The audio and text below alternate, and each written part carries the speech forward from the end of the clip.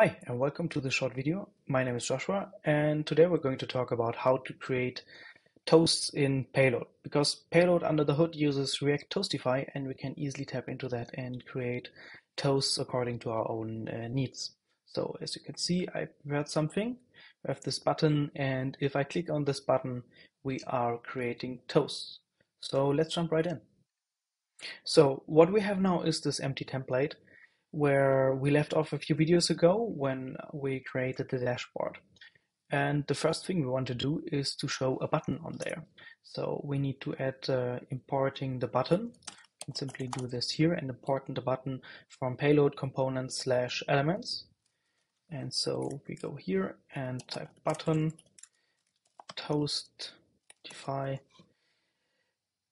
Give it an on click listener on on click So we're ready to show the toast now. And for that, we need to import Toasty, uh, React, React Toastify. So we need to import toast from React Toastify. And here we can simply say uh, toast.success success. This is the message. This is the type of toast, and this is the message message the toast is going to show. So if we load this page again, we have to wait a second. It shows a toast with our message. So as you see, we simply have to call this API, and it's already embedded into payload um, because we're calling the same thing as the rest of the payload application does. And we have several options now. So we have the success toast, success, success, but we also have um, error, error, error,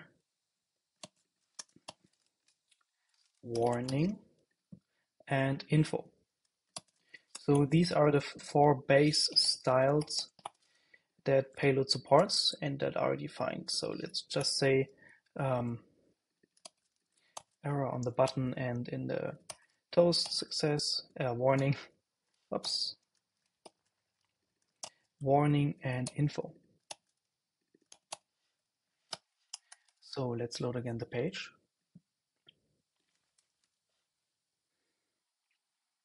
Okay then we have the success toast. We have the error toast. We have uh, the info toast. Oh yes that's correct. The, the warning toast does not war warning. Ah, I spelled it wrong. So let's try that again. Yes, and we have the warning toast. You see, they, they it really looks the same as the info toast, but it has the uh, yellow line going on below and the info has the blue line.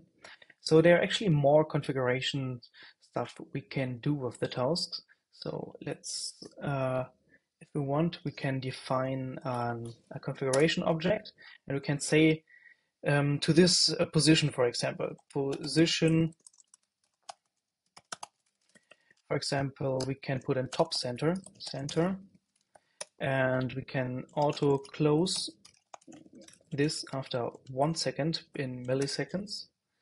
And we can hide the progress bar and we can close on click is true and pause on hover is uh, false in this case. So you can really configure all of these um, things as you need them and draggable is true in this case.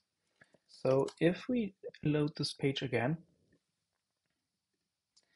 then we click on this and we have it loaded in from the top and it already disappeared. And we can do top left and you want it to be a warning. And then it's a or error error. This really went wrong. Let's save it and load the page again. So now it came from the left. And as you see we're really free to do with these tools whatever we want. And they are already basically set up because they're part of the payload project Okay, so that's it for today. See you the next time.